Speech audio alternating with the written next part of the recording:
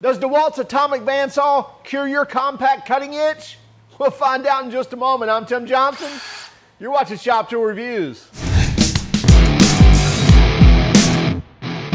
We have the DeWalt DCS 377.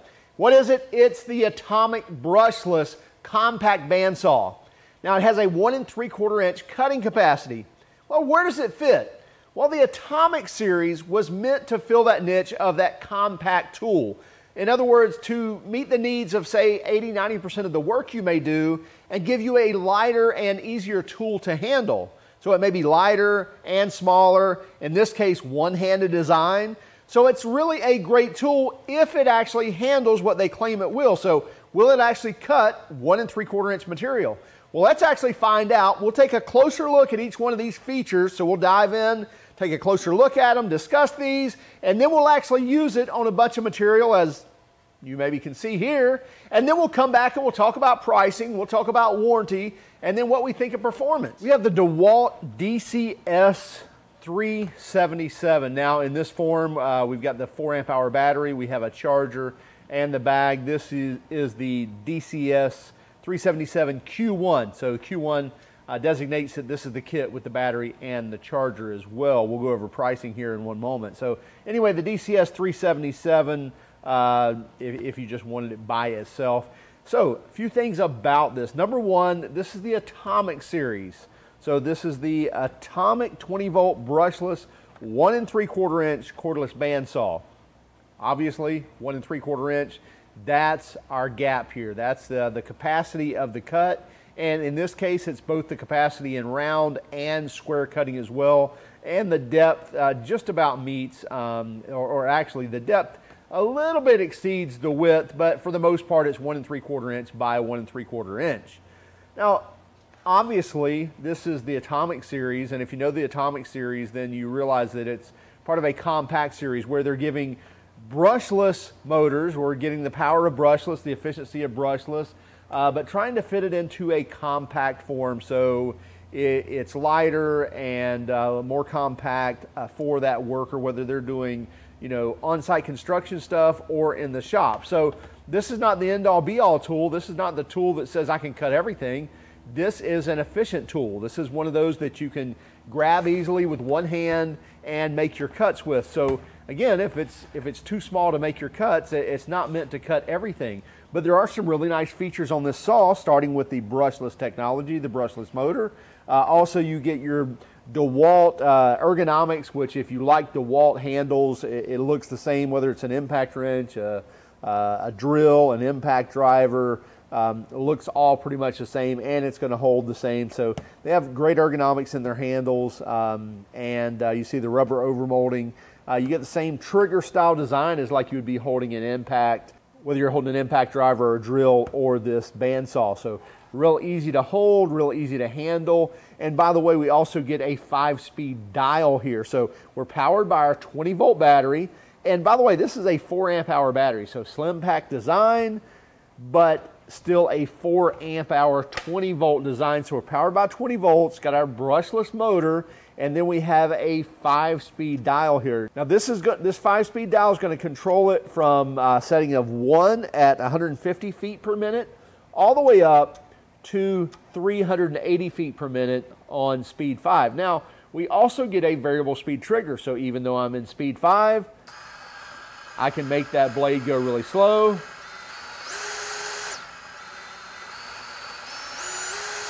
or I can crank it all the way up to that 380 feet per minute. So we can use our speed dial, we can also use our variable speed trigger. And by the way, with this one-handed design, we do have a safety lock here that's uh, kind of spring-loaded, if you will. So we have to push that every time we pull the trigger. So if I'm not pushing that button, I cannot pull the trigger. So I can push that over with my thumb, pull the trigger, and then I can let go of it. The nice thing is if you're left-handed, no problem, it's over here as well. So we can push this from either side to unlock the tool. It doesn't have to slide one way, sliding either way will unlock this tool. You can see I can push that way or I can push this way. We get a rafter hook or a joist hook or you know something you can hang this on whether you're hanging it on a ladder or you're hanging it on a 2x4 um, or hanging it on your wall, what have you. You get that rafter hook built right in, or you can take that off if you want to. Also built in is the ability to tool connect. So DeWalt's tracking chips uh, is called Tool Connect. Take these two screws out and that chip will screw right into there and then the battery kind of hides it, protects it or what have you. But when, you're, when you know what to look for, you can tell uh, that little Tool Connect bulge out there, that's what that's for. One thing I really like on this little bandsaw is the protective bottom here as well as the clips that are kind of protecting the, the blade and wheels so we can flip these and I like the metal clasp. So give you a sense of security, if you will, nothing plastic that's gonna break. Obviously the cover is plastic, but that's not a big deal. Uh, we get brushes here to keep the wheel clean. And then we have our blade, which is a 1418 TPI blade, variable tooth blade. Uh, again, 1418. So it's going to cut most of your mild steel products with no problem at all. Uh, we have our double bearings that are basically our guide rollers. It's keeping those that, that blade tracked. However, we have in addition to those rollers, that's going to keep it from side to side jumping somewhere, but also from tracking that depth, uh, we have a tracking, a blade tracking adjustment right here. And built in here, we also have the Allen wrench, which will control that. So we'll back off that lock nut and use our Allen wrench to set the tracking if that blade's starting to walk one way or the other. And to release that blade, the blade releases right here, no tools needed. So we can open that all the way up. And then we can get to our blade, take it off if we need to, or put it back on, what have you. And then you'll see here when I close this back down, that tightens up that wheel and now we're all nice and tight and ready to go.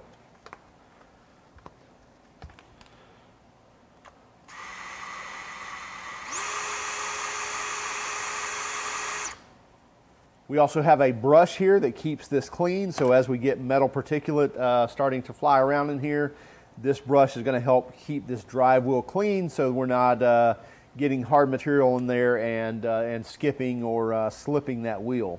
Now in addition to the tool connect, this tool is also lanyard ready. So we can hook a lanyard up to it and, uh, and be able to, you can see the threaded hole design here as well as here and so we're ready to hook our lanyards to it. So if you're working at heights, if you're working off a lift and so forth, this thing is ready to go and you're going to, to meet those specifications needed when you're working at heights. And then one last thing, we have an LED light right here that shines on that area where you're cutting. Now let's weigh this thing and see what kind of weight we have. Okay, our scale is going to zero out and we're at pounds and ounces. We're going to weigh it with that 4 amp hour battery on there. So 7 pounds, 12 and a half ounces. So let's call that 7 and 3 quarter pounds. So battery tool and all. Now just to give you an idea, we'll give a larger size DeWalt bandsaw with 4 amp hour battery as well. We're at 9 pounds, 5 and a half ounces. So we're almost looking at two whole pounds more than the atomic. So that's what you're looking at when you're going to an atomic series. Now, you can't cut as much, but again, that's the whole point is if the majority of the stuff that you're cutting is smaller, then it makes more sense if you can grab a tool like this that is going to save you some headache, not only in weight, but let's also just take a gander at just an idea of the size. So uh, the Atomic is about 13, a little less than 13 inches long. And you look here, we're at 16 inches long uh, with the larger DeWalt. Uh, and then width-wise the same way, covering a lot more ground with that larger saw than with the Atomic. But again, as you need to, when you need to step up to a larger cut, we're getting almost a full inch, a little more than two and a half inches cut capacity across these jaws as, as opposed to the Atomic. So very efficient tool, uh, very quick tool to use, single-handed design, unlike this is meant for two hands. Uh, but again, it's not going to cut everything you ever desire to cut. But when you do need to cut smaller stuff, this is going to be a great tool for that. Let's cut some stuff. Okay, so we have chalked up in the vise here. I think this is three quarter inch uh, aluminum tubing. Not a problem whatsoever. Very easy to make our cuts here. So that's obviously no problem whatsoever. Another great use for this would be all thread, something that uh, every construction site and even in the shop A lot of times you're using all thread and to make those cuts, grab your atomic saw.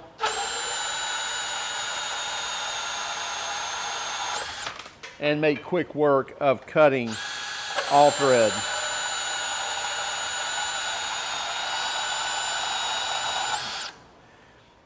It also makes a very clean cut. So a, a, little quick work of a grinder, but you're not burning through it and uh, pretty easy to handle as well. Now getting into larger stuff, one inch tubing. So this is one inch, uh, I think 10, 10 gauge wall or eighth inch.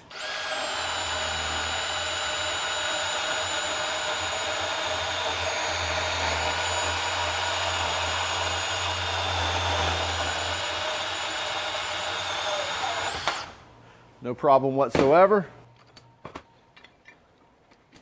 And even some, uh, looks like one and a half inch angle iron.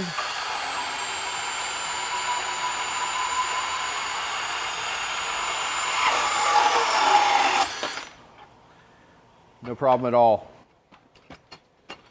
Another obvious one would be uh, rebar. So job site or doing some work and you need some rebar cut obviously. And again, nice clean cut without a lot of heat and sparks. And here's a good one to look at. So here we've got some, uh, some aluminum tubing here and on the end it's neck down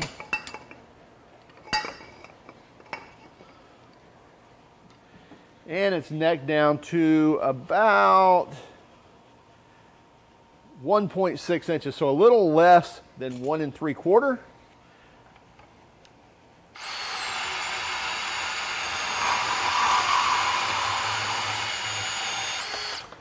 So no problem at all making that cut. Now, here's the thing. Up here, we're at full two inches and our jaws won't go around that. But the nice thing is where the plate is not here on this on this bandsaw, it can still fit that full two inches there. So you see here, it's at 2.1, almost 2.2 inches right in there. So in this case, where I am cutting something close to this uh, two inch wall here, I can cut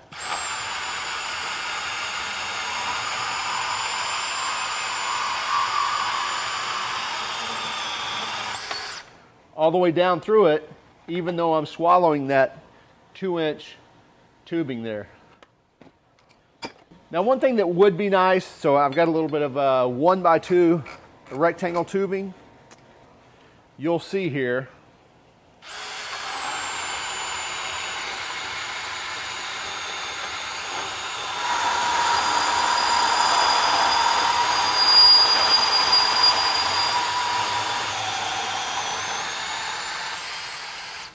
that's as far as I can go with this cut. I'm almost cut all the way through. In fact, I can grab this piece and pull it off. And I'll show you that I almost cut through that full two inch piece. So the depth, we're at almost two inches, whereas the width, we're right at one and three quarter. I'm not going at all to say that that's a limitation of this tool because again, at some point you have to realize it's not compact anymore if you keep, you know, growing the jaws, growing the depth, and so forth. So this is a compact tool meant to cut smaller material, and they've set it at one and three quarter inches. Now, do I wish it would cut two inch tubing because I use a lot of one by two rectangle tubing in the shop? Sure, but again, I'm not going to hold it against the tool because it's not designed to cut that. But just wanted to point that out that we almost have the depth to cut through that full two inches. Really nice compact saw, easy to handle uh, not too heavy, so something that I would much rather carry than its bigger brother. But again, the bigger brother has that uh, has its use as well in the shop. Well, this little guy did very well. As you could see through the cuts, it cut everything from rebar to all thread that you're cutting all the time to uh, round tubing, square tubing, and even almost cut through one by two inch rectangle tubing. Man, I wish it would do that, but I understand. Listen, I only brought up its bigger brother not to show any limitations of the atomic, but to show you that sometimes you just need a bigger tool for the job. It's the same way in life. Let's, let's take a car, for example. You may buy a smart car. Why do you buy that smart car? You're probably wanting to save on fuel. It's not going to pull your boat to the lake on the weekend, and it's probably not going to take your five kids uh, to church or wherever else you may go, but it may do the 80% of travel that you do, so it makes sense to purchase it.